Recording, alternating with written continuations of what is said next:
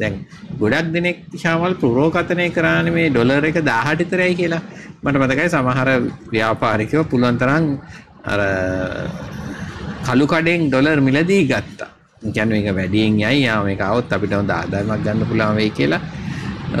පිටකොට එහෙම තියෙන මුදල් හොමාරු කරන මධ්‍යස්ථාන වලින් ඩොලර් මිලදීගෙන ස්ටොක් කරගත්තා. මේක නිත්‍ය අනුකූල වත් කරගත්තා ඇතිරිය නිත්‍ය අනුකූල නොවනාකරණය අපි දන්නවා. එහෙම කරගත්ත මේකල මේක තිබ්බොත් මේක විකුණ ගන්න පුළුවන් නමුත් ඒගොල්ලන්ටත් පස්සේ තේරුණා මේක මේ හරියන වැඩක් නෙමෙයි මේ ඩොලර් එක අඩු වෙමින් යනවා මහා බැංකුව අධිපතිතුමත් ඊ පෙරේදා පුරෝගතනය කරා මේක 280ටයි කියලා ඉදිරි මාස දෙක තුනක් මමත් අපි හිතනවා මේක 280 254 දෝලණය වෙයි.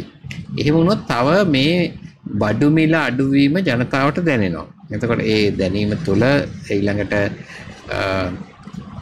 අනෙකුත් අපිට තෙල් මිල ගෑස් මිල මේ සියල්ලම අඩුවමින් පවතිනවා. විදුලි බිල අඩු වෙනවා අනිවාර්යයෙන්ම දැන්ටමත් යෝජනා වෙලා තියෙනවා 120කින් තියෙන අඩු වෙනවා ඒ ආදී වශයෙන් ජනතාවට සහන දැනෙන්න පටන් අරන් තියෙනවා.